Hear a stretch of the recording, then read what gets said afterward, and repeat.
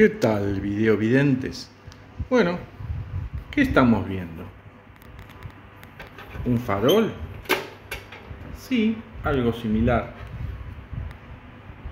Esto es una antigua baliza que aún hoy en día se usa en los lugares donde hay eh, ausencia de luz eh, eléctrica.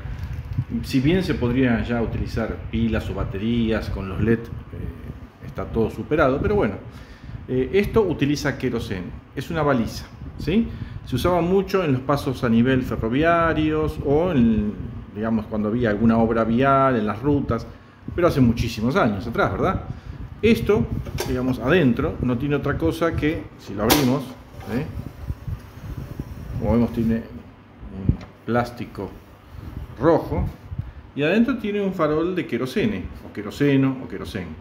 ¿sí? La marca es Brown Metal, es muy parecido a los que se usaban o se usan actualmente para alumbrar en el campo, nada más que no tiene la estructura eh, que mantiene al vidrio, sino que aquí la estructura es externa.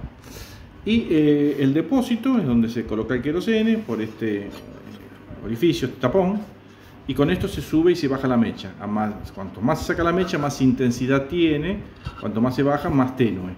Además, la mecha cuando para que, digamos, normalmente eh, hay que cortarla en, diagonal, eh, porque si no hace una especie de, mm, de, titila.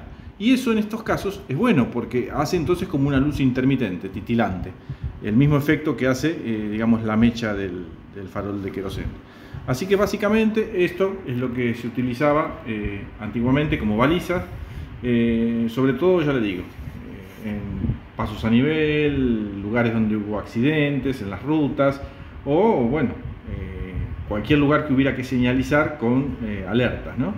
Eh, digamos que tampoco es tan, tan viejo, pero vuelvo a decirle, está superado hoy en día con la tecnología de, baterías, de pilas este, y los LED que gastan muchísimo y que duran muchísimas horas. Porque un depósito de estos de queroseno duraba casi 24 horas prendido. Eh, o sea que toda la noche tranquilamente. Eh, las bombitas comunes con pilas a veces no, llegaban a durar 12 horas. Ahora con los LED, con el advenimiento de los LED y con la tecnología de electrónica que hay, se pueden hacer miles de efectos con los LED de parpadeos de distintas frecuencias, incluso que van variando, y gastan muy poca eh, batería o, pila. pero yo le digo, hay lugares donde en el campo que se siguen utilizando. Así que bueno, esto es una baliza a. Eh, hasta la década del 60 fue bastante común eh, la utilización. Después ya, mm, esta yo la compré en un galpón de campo, donde vendían así cosas, eh, digamos que allá tienen utilidad, ¿no? De segunda, tercera mano, pero que se siguen usando. Así que bueno, espero que les haya interesado y si no, por lo menos haberlos entretenido, como digo siempre. Eh, nos estamos viendo en el próximo. Saludos.